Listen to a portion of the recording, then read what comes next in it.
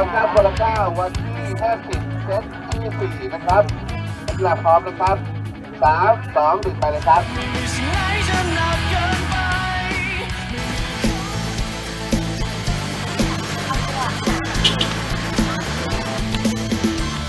มันเหมือนเราได้รับพลัง เวลาเขาพูดสู้ๆอะไรตรงเนี้ยไปด้วยจากคนรอบข้างจากคนรอบข้างอะไรอย่างเงี้ยฮะคือตอนวิ่งอยู่ก็จะเหนื่อยมากเลยแบบโอ้แบบจะไม่ไหวแล้วแต่พอแบบ เขาแบบเอ้ยสู้ๆหรือแบบเอ้ยแตะมือหน่อยอะไรอย่างเงี้ยเราก็รู้สึกแบบเหมือนแบบมีมีมีพลังมากขึ้นได้บูสต์พลังมากขึ้นแล้วทำให้เราแบบ